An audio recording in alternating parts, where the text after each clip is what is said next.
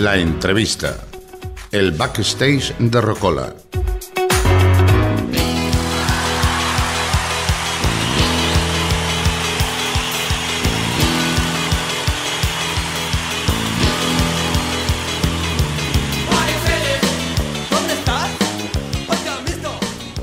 Hoy tenemos en el backstage de Rocola a Bernardo Vázquez, líder de refrescos. Escuchamos uno de sus primeros temas y éxito de refrescos Maripili en el Valle del Escalón.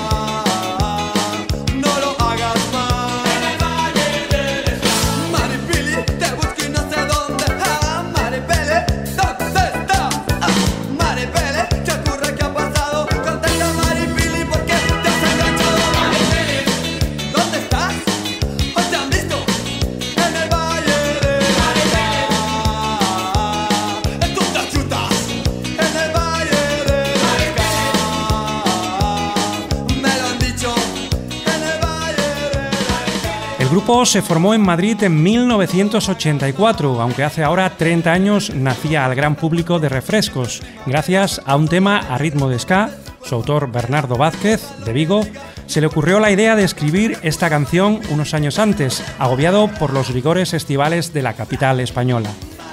El grupo ha sido plenamente identificado con la canción y está calificada como himno generacional, Pudimos disfrutar de este tema junto a otros hace muy poco en el Festival Primavera Ochentera de Tomares, en Sevilla.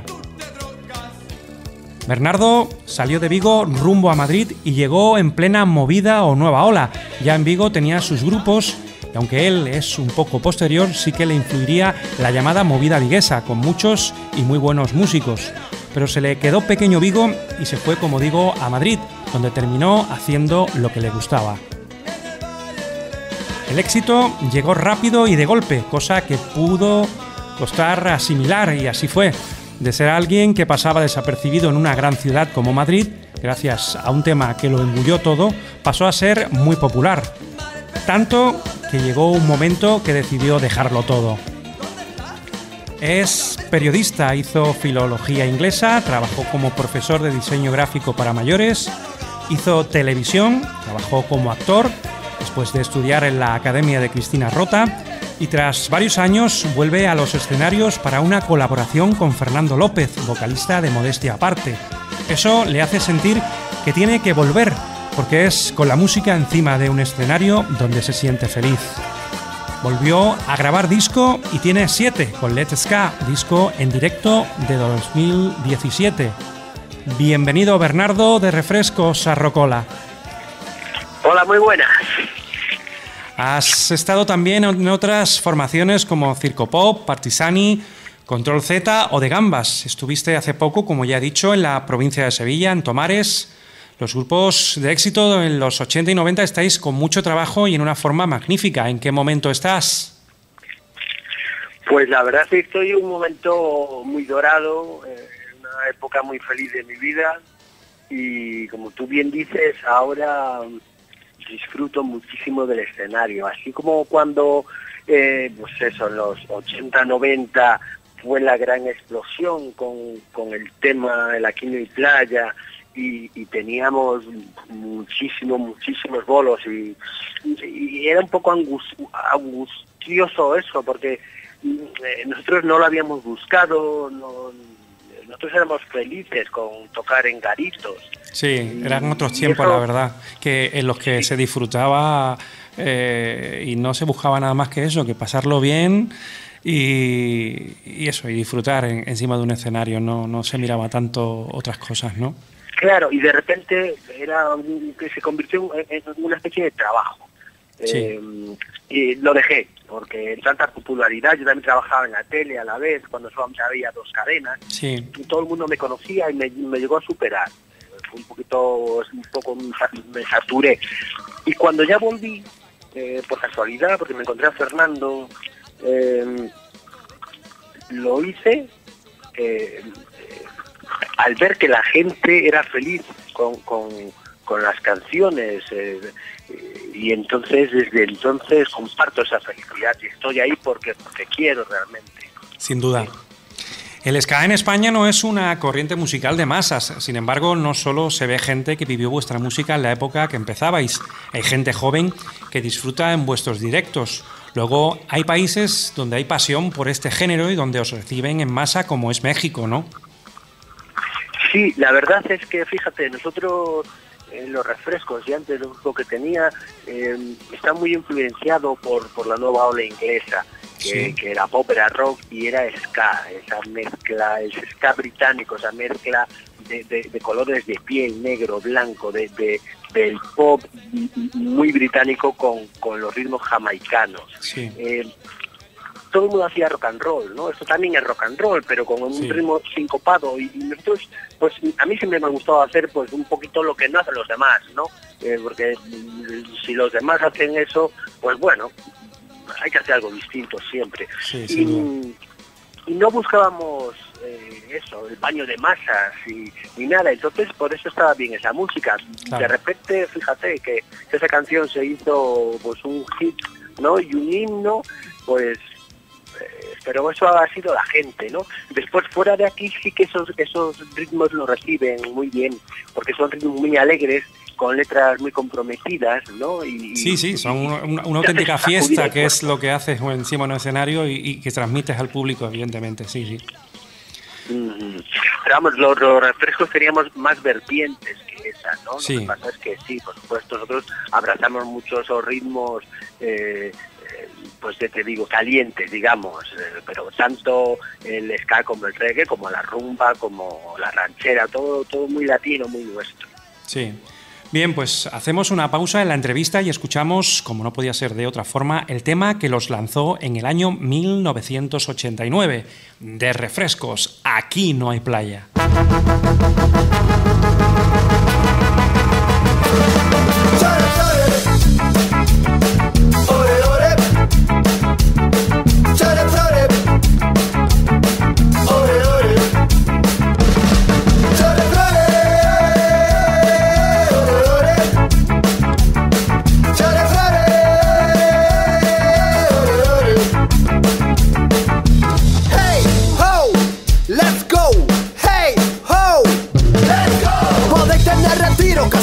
Y Ateneo Podréis tener mil cines, mil teatros, mil museos. Podréis tener corralas, organillos y chulapas. Pero al llegar a agosto, vaya, vaya Aquí no hay playa. Vaya, vaya. No hay playa. Vaya, vaya a gritos que es la capital de Europa. Podéis ganar la liga. Podéis ganar la copa. Afirmar y seguros que es la capital de España. Pero al llegar a agosto, vaya, vaya Aquí no hay playa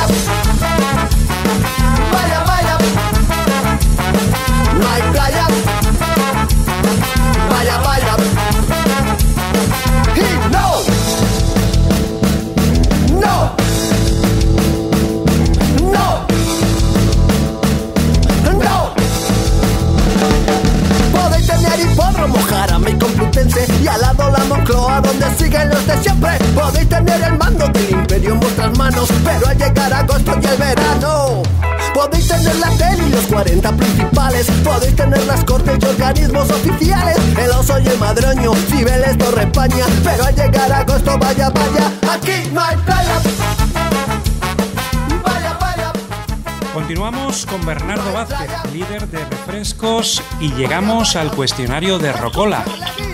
Bernardo, si te pido que me elijas un tema de tu carrera y discografía.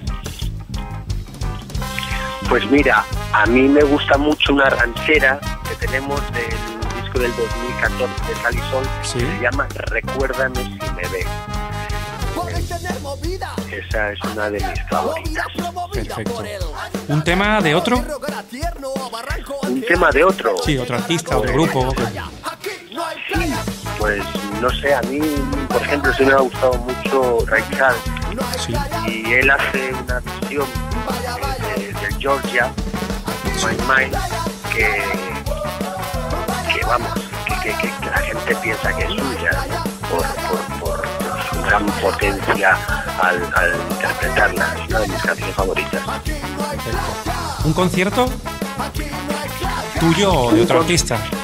De otro artista. ¿Tuyo, Pues tuyo o, de otro, otro- o de otro artista, de lo que me, lo que me elijas, vamos.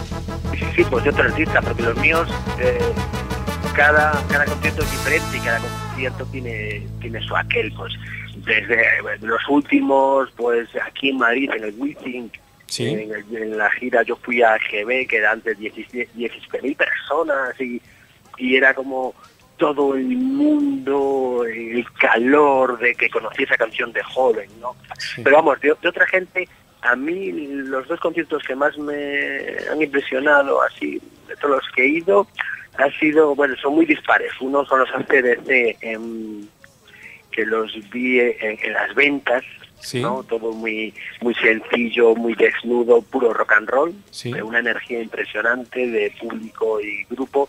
Después otro en el otro extremo, y además ahora con un poco de polémica en este momento, pues el último concierto que dio en España en el Madonna, fuimos a Barcelona Sí. a verlo en el Palau San Jordi, que yo era un poco reacio, de- pero mi novia quería verla y tal, y, y lo flipé, lo flipé porque no es un, un concierto estrictamente musical, sino Sí. que es todo, llevas saltimbanquis, bailarines, Sí, un espectáculo. impresionante, hasta hasta la, hasta el autotune, impresionante. ¿Un disco tuyo o de otro? Pues a mí hay un disco que me que me encanta, que es el More Special, el segundo disco de The Special, del grupo Sí. británico, que es una de mis bandas favoritas. Eh, sí. ¿Una película? Una película, Sí. pues mira, eh, tenemos, ahí te tengo dos que son para mí, bueno, varias, que son fetiche.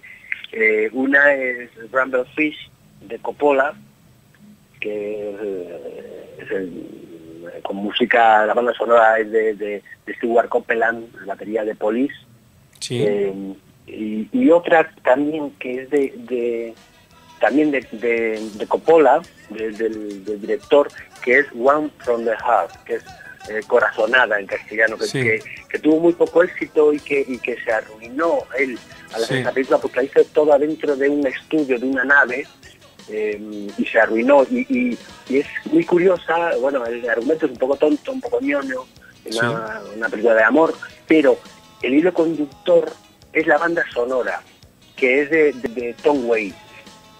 Y, es, es- es- es entre teatro, es teatro, cine y, música. Vamos, una, son una hay muchísimas, ¿no?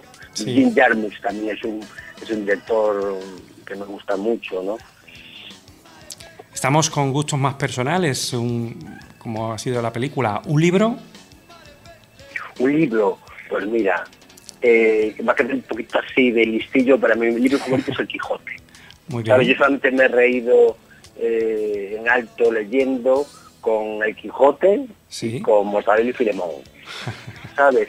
Sí. Claro está que El Quijote lo leí con 30 y muchos años. Sí, O sea, cuando lo había estudiado en el colegio leerlo era un coñazo. sí. Pero le- después ya de me lo he leído dos veces porque es un libro de humor. ¿Sabes? Un poco mm, eh, trabajoso porque hay que leer lo- las notas a pie de página porque si no no te enteras de nada, ¿no? Eh, después, eh, Hanif Kureisi, un, un- escritor británico, es uno de mis favoritos y cualquier libro de me lo recomendaría. Y después hay un libro que, mm, que, que, que- que del, del año pasado de Sergio Guillén Barrantes Sí. que se llama eh, De refrescos, Sí. más allá de la playa. Vuestra Y ese historia, es un libro sí, que habla pues un poco de mi vida y de la vida de los refrescos, todos los, los entresijos y todos los secretillos Pues de la banda. Que Pues si sí. queréis eh, leerlo solamente, es muy curioso porque Amazon. solamente se, Sí, solamente sé. se vende por Amazon, pero solamente se vende en formato papel. Ajá, es como sí. la Un prehistoria. poco, contradic- vanguardia. sí, un poco contradictorio, ¿no? De la forma que se... Sí. Que A se... mí me gusta. Yo, mira, yo los, eh, de- los discos, los vinilos, pues los tengo en casa de, de mi hermana. Eh, los CD los regalo. eh, porque al final la música la tengo en el ordenador, ¿no? Aunque la calidad no es tan buena, pero ahí está. Sin embargo, los libros es algo que soy muy fetichista. Me gusta tocarlos, tenerlos, Sí. olerlos, Sí, el buen lector dice que le gusta, le gusta leer eh, en formato de toda la vida, en papel, ¿no? La verdad que sí. A mí los libros siempre me han gustado. En casa de, mis padres siempre ha habido bueno, muchos discos, pero muchísimos libros. Y para mí es como estar en casa, ¿no? Yo, así te digo, los, los, los vinilos pesan mucho y los tengo como, bueno, ya los escucho, pero los libros yo en cada mudanza me llevo cajas y cajas de libros. Muy bien. ¿Una bebida, Bernardo? Una bebida, zumo de naranja. Una comida, que además, viniendo de Galicia en el norte, coméis muy bien y bastante.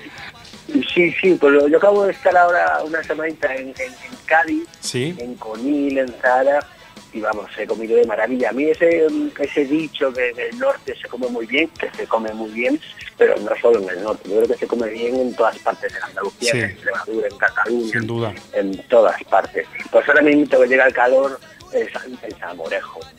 Muy bien.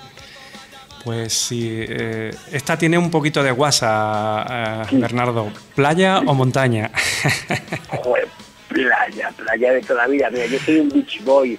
Y, eh, o sea, las canciones mías en general cuento cosas, pero la gran mayoría son biográficas, son muy mías. Y aquí en Playa es así. Yo desde pequeño digo vivía en la playa en invierno, en verano, bueno, la gente del, litoral, claro. Eh, en general somos así. Entonces yo solamente, yo me he dado cuenta que soy feliz en dos sitios. Uno, en el escenario, como tú bien has dicho, y el otro, en la playa.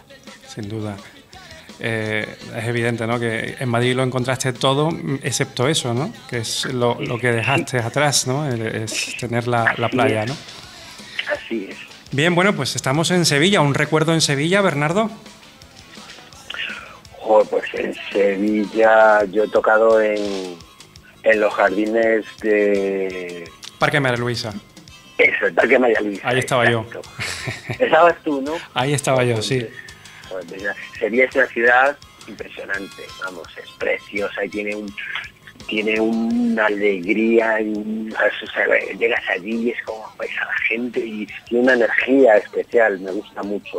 Me gusta mucho Andalucía, me gusta mucho Sevilla, vamos, yo cada vez que puedo me escapo para allá y, cada vez que toco ahí para mí es, una alegría. Muy bien. Bueno, pues eh, el último disco ha sido Let's Ska, disco en directo del 2017. ¿Puedes adelantarnos algún proyecto nuevo, nuevo disco, tema? Que ahora se lleva lo de ir lanzando temas nuevos sin hacer disco. ¿Algo más que tengas en mente? No sé. Claro, sí, eh, sí. Esto es a cambiar un poquito el concepto de, los discos. Ahora los que hacemos discos eh, es un poquito, sí, por, por, promoción. por capricho. Sí, por capricho. y Exacto, volvemos como a los años 60. En los años 60 todo se basaba en los singles.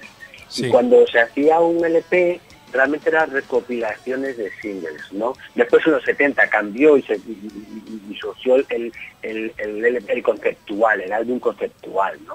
Pero ahora estamos volviendo un poquito al pasado y ahí estamos. Pues mira, eh, lo próximo que estoy haciendo, estoy estamos montando los temas. Sí. Eh, la verdad es que no sé con qué nombre va a salir, porque yo siempre soy yo, pero algunas veces mm, hago discos como de refresco, otro como de gambas, otro no lo sé cómo, ¿no? Pero el próximo que vamos, eh, que estoy haciendo, em, pues eh, es, un poco eh, buscando en nuestras raíces, ¿no? Va a haber pues rumbas, chotís, un poco de cumbia, todo eso, pero el rock and roll, claro. Ah. Y entonces la historia es que va un poquito como, como este libro que te contaba, de más allá de, la playa, de refrescos.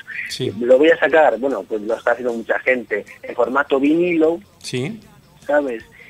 Eh, y digital solamente. Yo creo que el CD ya... Perfecto, sí, no, el, CD de hecho es que está... Ya de hecho han cerrado en Estados Unidos la, la última fábrica que había y sí.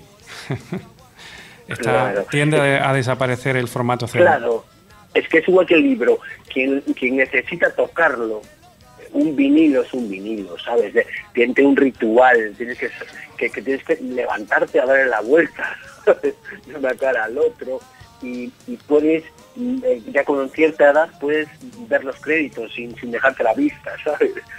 Y te recreas en la portada. Y después el que, el que no tenga ese, esa, esas ganas de tocar, pues lo tienes directamente en Spotify o... Pues sí, eh, la distribución de, de, la música cambió, la verdad. Ha cambiado mucho. Después también se basa mucho en la imagen. Es cuando los cines de hoy en día son los que sacas vídeo, ¿verdad? Sí, exacto, así es. Pues ahí, ahí estamos. Bien, pues Bernardo, desearte lo mejor siempre. Espero y deseo que nos veamos pronto en los escenarios por aquí en Andalucía. Un abrazo, amigo. Muchísimas gracias, Frank. Y ya sabes dónde estoy. Y para todos vosotros, cualquier cosa que queráis de, de, de refrescos, estamos en www.derefrescos.com. Perfecto. Nos vamos escuchando otro de esos temas que no pueden faltar, de refrescos, todo o nada.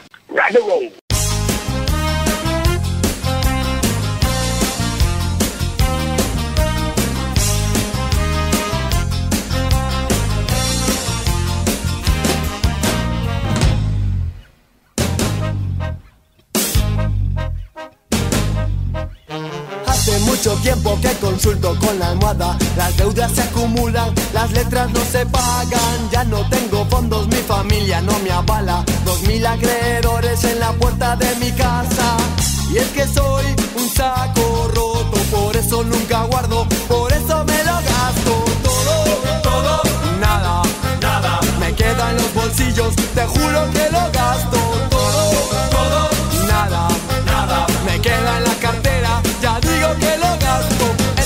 empresas y terrenos en Zamora, mi padre era ministro